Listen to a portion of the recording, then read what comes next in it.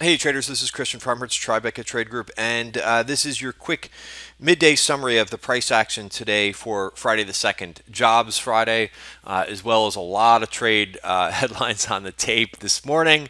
Uh, woke up to hearing that um, you know possible trade proposals out there and, and negotiations maybe maybe starting, uh, and then later they kind of came out and squashed that story. So um, you know one of the reasons why we have a reversal but most importantly is the price action. Taking a look at s&p futures uh, you could see the 200 this white line coming into the picture. That's the 200 day moving average. So first attempt at reclaiming is um, not we're not able to get get there that's not you know it's it may not be the the end of the story or the the end of the move but you know because we have had a nice move from the lows this week. We'll see what happens. And if you you know if you look more instead of um, at S&P futures if you look at SPY it's going to show the same picture. A little bit of a different candle because on thinkorswim the SPY candle will only uh, start at today's open while S&P futures are going to show that pre-market activity. So slightly looking you know different looking candle there. But same same thing. And you know what I would watch at this point is basically your stops. And um, I'll talk a little bit about how I've been trading this day. And um, so SPY, I, I, would watch, you know, we're still moving down here. The VIX is still very well bid. So basically, you know, watch the, the open uh, and, um, and and then this short-term moving average, this yellow line is the five, right? If we lose the short-term mo momentum, uh, I would say you know honor thy stops. I mean that's what I've been doing all morning long in some names that I've gotten. And yeah, you know, I've been taking as I've been talking about every day. Um, you know, I, I loaded up on some positions around the lows, and I've been peeling out of them, and you know, trying to make sure that I get as much profit as I can. Um, but all at the same time, if we start to turn lower again, I'm not going to get caught. No way, no how, no shape. so Qs, uh, same picture. You know, interesting with the, you know right at the 200-day moving average, which is where we rallied up to on the close yesterday, um, right around the open. That's where we stalled as well. So that's going to come into play. That's a major resistance level. Um, you can see as I'm talking right now, which I'll try to keep this video short because price is moving pretty quickly right now. The VIX is moving up here. The VXN, which is the VIX for the Qs, also moving up. IWM was holding in pretty decently, um, but is now in the red as well. IWM was your outperformer, and a lot of reversal bars going on. Biotech was well bid, which is, was very strong yesterday. Um, you could see that's also coming down, down now down 60 basis points after starting the day up around a half a percent, up one percent.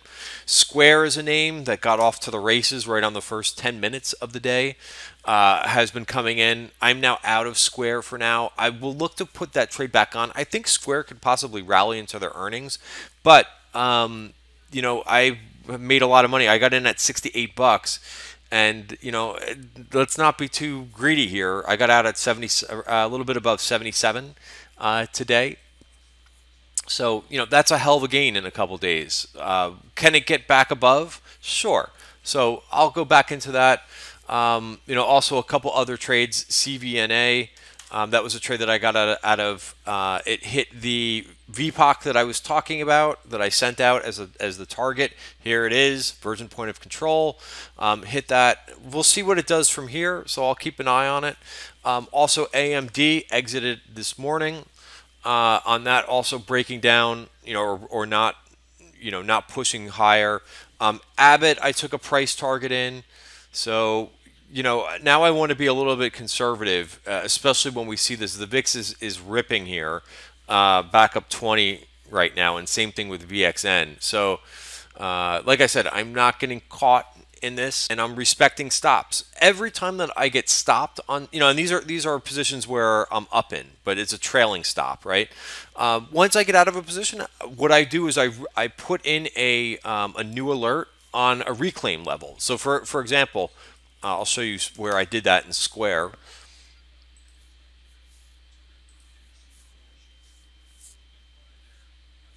If I could bring up the five minute bar. And this takes so long. uh, Square, yeah, I mean, it's basically not doing anything bad here, but basically I want to see it get back over, uh, you know, back over this, this line here. So I've got a target uh, or, or, an alert to get back into square if it uh, if it comes back here a little bit. But um, um, today's price, or, you know, today's option activity, Apple, I would say two way. there was some calls. There's a lot of stuff going up on the bid side. Puts are trading a lot more than calls in Apple this morning, but um, most of them are, are, going up on the bid side. Uh, a lot of two-way, uh, you know, two-way stuff where I see the aggressive stuff. Uh, a couple other signals that I saw this morning. Uh, LMT, you know, a lot of stuff going out to, to June.